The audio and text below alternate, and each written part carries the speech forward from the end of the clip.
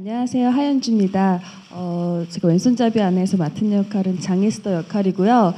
어, 욕망으로 똘똘 뭉쳐서 어, 두 남자의 운명을 바꿔버리는 네, 좀 굉장히 좀 무시, 무시 무시한 네, 그런 역할을 맡았습니다. 감사합니다. 제가 그동안 안 해봤던 너무 도전을 할 수 있을 만한 너무 잘해보고 싶은 그런 캐릭터를 또 이렇게 운 좋게 또 함께 하게 돼서 저로서는 굉장히 큰 음, 기회이기도 하고 행, 행운이기도 하고 그래서 요즘 사실 몸과 마음이 좀 힘들어요. 악역이 되게 좀 센 악역이라서 처음 해봤는데 어, 굉장히 좀 지치더라고요. 근데 그럼에도 불구하고 어, 굉장히 사실 너무 하루하루 너무 즐겁게 하고 있습니다. 에스더라는 인물 자체가 굉장히 이야기에 힘이 있어요. 그래서 그냥 막 이유 없이 악행을 저지르거나 뭐 이야기를 뭐 재밌게 뭐 다채롭게 하려고 그냥 그렇게 하는 게 아니고 에스더만의 그 이야기가 드라마가 있기 때문에 아마 자연스럽게 마음이 많이 가실 것 같아요. 그래서 제가 하면서도 음 글쎄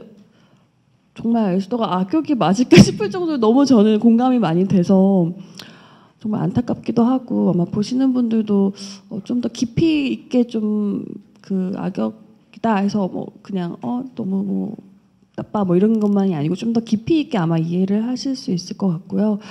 음 그리고 드라마가 사실 아, 악역이 뭐 처음부터 막 이렇게 이야기가 많이 풀어내지가 않잖아요. 보통 드라마 보면요. 그래서 악행만 그리고 반복돼 있고 근데 어, 저희 드라마 같은 경우는 처음부터 시원하게 이렇게 풀어져 있어서 이, 이 에스더의 그 캐릭터가 또 변하는 거를 보는 재미도 있을 것 같아요. 저도 많이 기대가 되고요.